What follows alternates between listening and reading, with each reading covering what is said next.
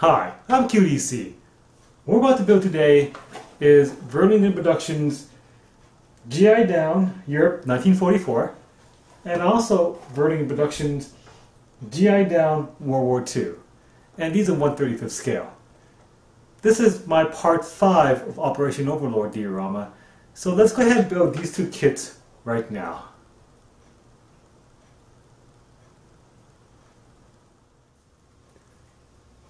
Let's go take a look inside each box.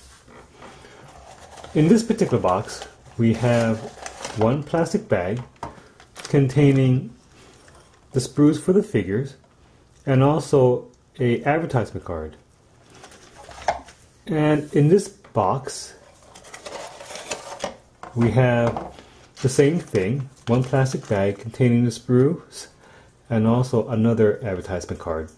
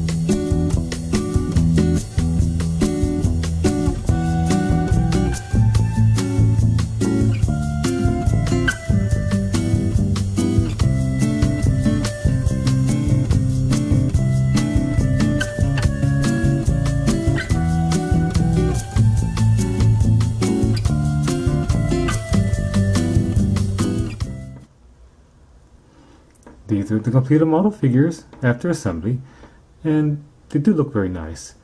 All three figures look realistic to me, and I especially like each figure's facial expression. They do look like two dead men and one guy being shot in midair. It's time for me to paint the model.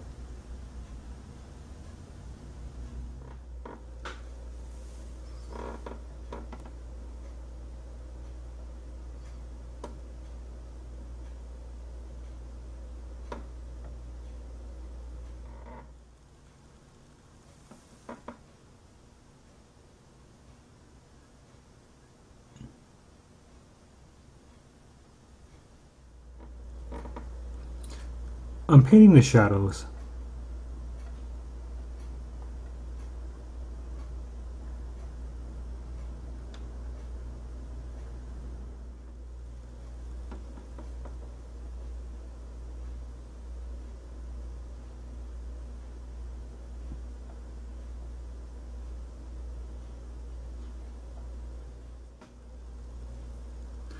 Now I'm painting the highlights.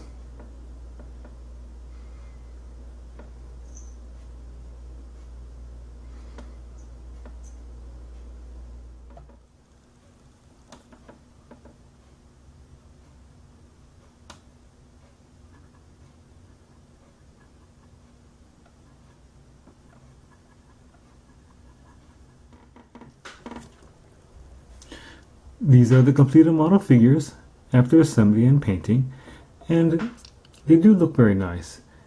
Each figure looks realistic to me, and my favorite is really this guy right here, um, the one that's being shot and about to fall down. His facial expression does look like um, he's been shot. And so I think these three figures would be a great addition to the diorama that hopefully is going to be done fairly soon.